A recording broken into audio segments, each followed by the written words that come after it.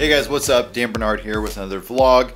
And today I'm gonna to be talking about how to stay on task. I'm sure many of you have noticed in the background here, we have a gigantic whiteboard. So I'm gonna show you how we organize our whiteboard because we have a lot going on and we need to be organized and structured in a way to make sure that we get everything done in a timely manner. So hopefully you can use some of these techniques to help you get your stuff done in a timely manner as well. So it's no secret that Casey and I are really busy. We are two of the four employees that work for Release the Hounds, and we currently manage and upkeep three online e-commerce businesses. One is Ground Control, the other is Wave Brigade, and the other is Fangs Film Gear. And you can find links down in the description below about all those things. But on top of that, we do video production work for a organization, a non-for-profit organization called Heart Support. Again, more information down below.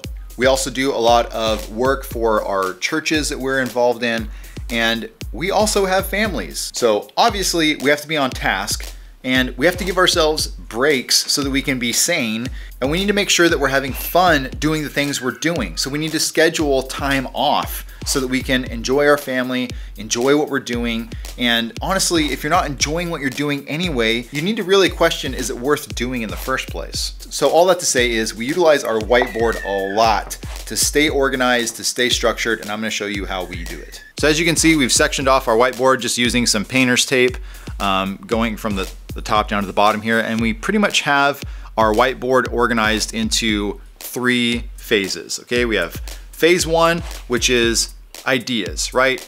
Any and all ideas that we have throughout the day, if they pop into our head, we can quickly come over, grab a pen and write down on phase one. That way we don't forget about it because it might be a really good idea that's fleshed out into something to develop in the future. The next section here is phase two, which is the more focused ideas. And we have these focused ideas broken up by the brands or the different projects and the things that we do. Here's ground control, wave brigade, fangs, heart support, uh, our Twitch stream, the Savage Patch Kids, my YouTube channel, and that just RTH, Release the Hounds, uh, business type things that need to get done. So the ideas that come from phase one over to phase two are ones that we've had discussions about, and it filters down from this pool of just all these different ideas and then we decide, okay, is that one idea worth bringing over to phase two? What category does it fit into? And from there, it goes to phase three, which is things we work on today.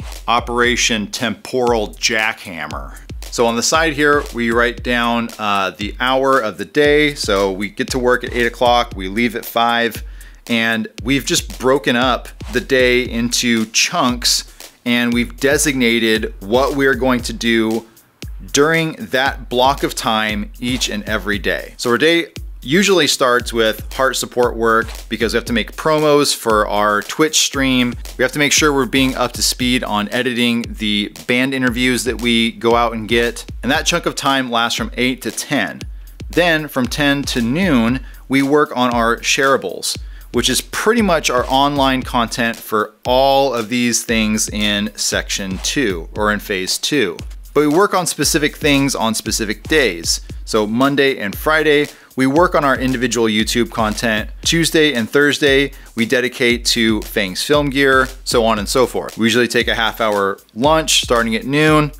And then after lunch, we do email, and then our one o'clock to three o'clock section is development and work on products. And that fluctuates because we have so many things that we're constantly in development of. For example, this week we are working on developing a new site for Wave Brigade. And then from three o'clock to five o'clock, We've split up that block of time, one hour a piece dedicated to the live streams that we do on Twitch. The other section of our whiteboard is dedicated just to a giant calendar so we can quickly at a glance take a look at what we have coming up in the month, including trips, special events, days off, things like that. So the whole point is to write everything down and to make sure that you're taking the time to filter through that process. Is it worth developing? Is it not worth developing? In all honesty, no idea is bad, but it might not be the right time to work on that idea.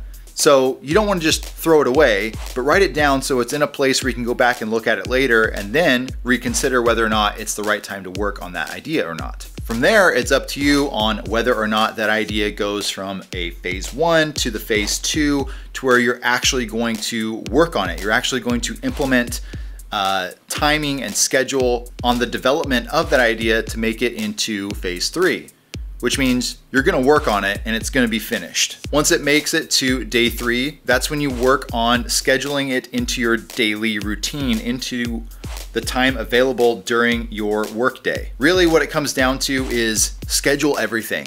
Schedule every hour of your day, every moment. Even if you don't finish the project that's scheduled during that hour, you've at least worked on it more than not working on it at all. And what it comes down to is you're actually making progress on that idea, on that project, and you're working toward its completion. So if you find yourself being frustrated about not being organized, not being structured, not planning your day, hopefully you can find some of these tips to be of use to you to help you get your projects done faster and to hopefully help you schedule and organize your workday into something that helps you stay productive, stay fresh, and stay creative.